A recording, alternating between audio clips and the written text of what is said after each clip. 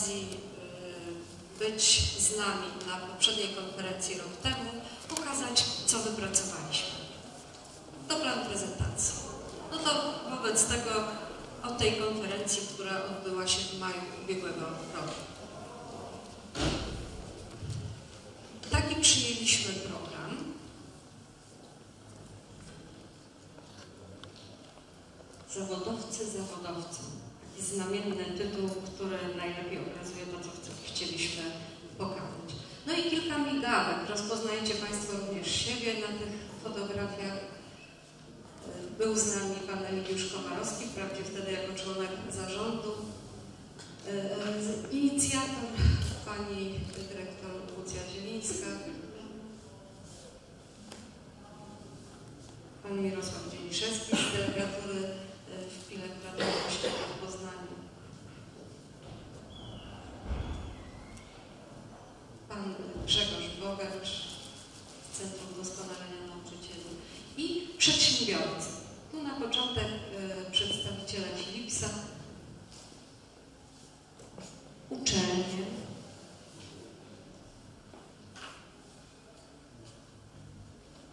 Mówiono o dobrych praktykach, pokazywano znakomite sukcesy.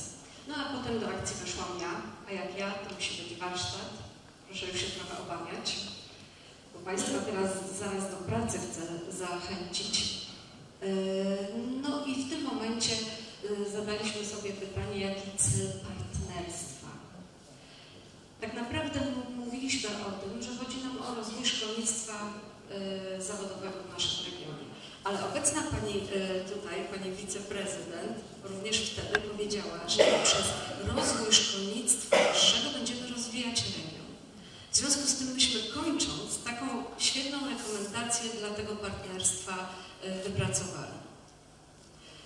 Pokazaliśmy troszeczkę naszych tutaj regionalnych doświadczeń. To nie jest tak, że myśmy się obudzili w zeszłym roku tu w regionie pilskim i zaczęliśmy pewne rzeczy wspólnie robić.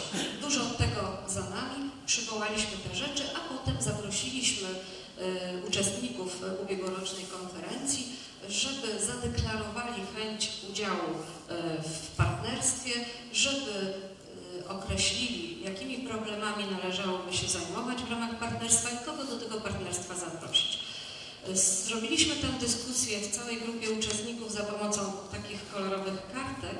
Te kartki zostały potem zebrane w jednym miejscu. No i ostatecznie powstał wynik i teraz bym Państwa poprosiła, żebyście zechcieli ze swoich materiałów wyjąć te wyniki, czyli wnioski z naszej poprzedniej konferencji. To niezły, myślę, do dzisiejszych rozważań.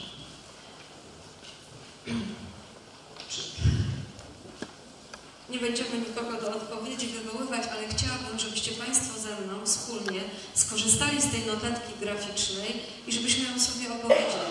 Ona oczywiście zostanie u Państwa i będziecie wnioski z ubiegłorocznej konferencji mieli ze sobą.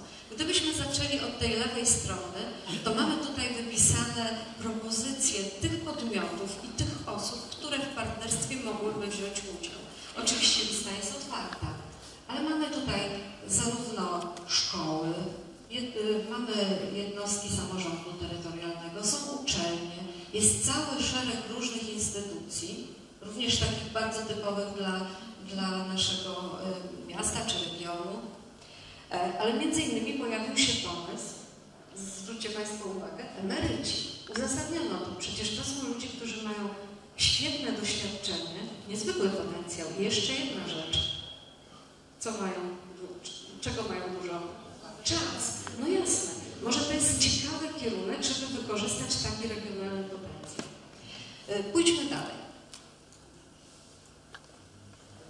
E, zwrócono uwagę, że należałoby pochylić się nad rozwojem komunikacji społecznej. Z jednej strony szkoła pracodawcy, i to trochę nam wybrzmiewa też w tym miejscu, o, mówimy o wzajemnym uczeniu się, poznajemy wzajemne modele, yy, nie wiem, zarządzania i inne, integrowanie się, ale tutaj też yy, chciano pokazać, że pracodawcy potrzebują szkoły, żeby trochę yy, pokazywała, co się zmieniło, jak wyglądają różne elementy związane z te oświatowe. Z drugiej strony szkoła bez pracodawców, szkoła zawodowa nie, nie istnieje W związku z tym jest to bardzo, y, myślę, ciekawy, ciekawy element do, do jakiegoś działania.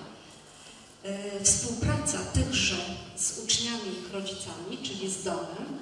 I tu taka ciekawostka, doradztwo edukacyjno-zawodowe, jak to się ostatnio nazywa, skierowane do uczniów, ale również skierowane do ich rodziców. Taki był pomysł.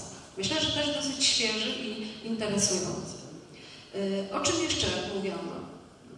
Jak to zrobić w regionie, żeby przekwalifikowanie następowało sprawnie, bo to jest ważne, bo jak za długo, to, to nieskutecznie. Y, co dalej wymyśliliśmy? Że powinniśmy korzystać z pewnych zdalnych y, takich możliwości, które już nam niesie nowa technologia. No i być może jeden z takich bardzo konkretnych rzeczy, pierwsza rzecz, która w partnerstwie mogłaby się udać, to pozyskanie funduszy unijnych na rozwój szkolnictwa zawodowego i myślę, że dzisiaj coś na ten temat już się tu pojawi, bo pewne rzeczy już się udały. Dodatkowo ta droga, którą mamy iść, to mm, taka wspólna dyskusja nad podstawami programowymi,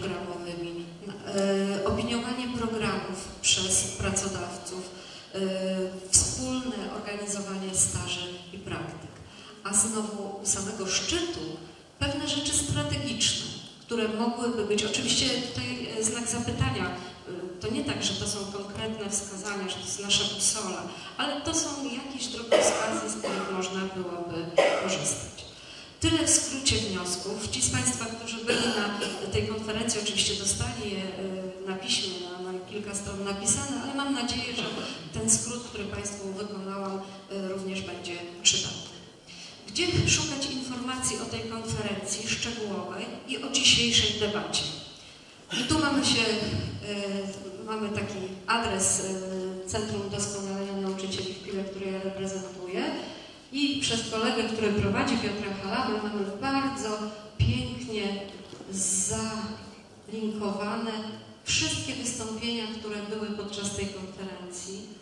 Tam znajdują się informacje o konferencji i w taki sam sposób wiem, że będzie przygotowana debata. Warto tam zaglądać, żeby te informacje mieć na bieżąco. Ja Państwu bardzo dziękuję i życzę świetnej debaty.